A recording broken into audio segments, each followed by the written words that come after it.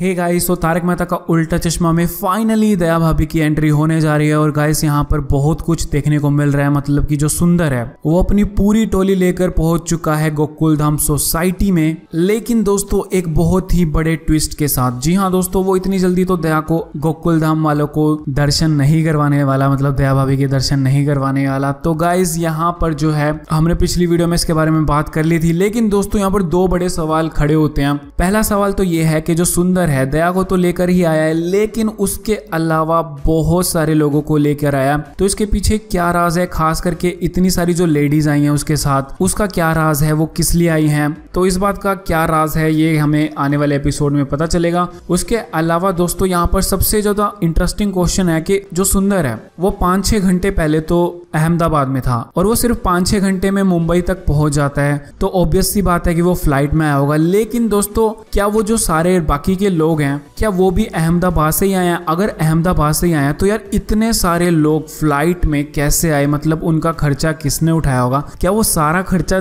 सुंदरलाल जेठालाल से मांगने वाला है? तो यार हम सोच सकते हैं कि कितना ज़्यादा खर्चा होगा। तो यहाँ पर जेठालाल की तो बैंड बजने वाली है खर्चे के मामले में, लेकिन फिर भी वो इस बात से खुशी होगा कि दया वापस आ गई है। लेकिन दोस्तों, हो सकता है कि सुंदर को कहीं और भी जाना हो, वो जो उसकी टोली है, वो कहीं और जाने के लिए आई हो तो शायद उनका फ़्लाइट का खर्चा ना देना पड़े, और हो सकता है कि वो मुंबई से ही आए हो वो लोग तो ये चीज़ भी हो सकती है। तो दोस्तों, ये जो दो बड़े सवाल है, इनका आंसर हमें आने वाले एपिसोड में ही पता चल जाएगा।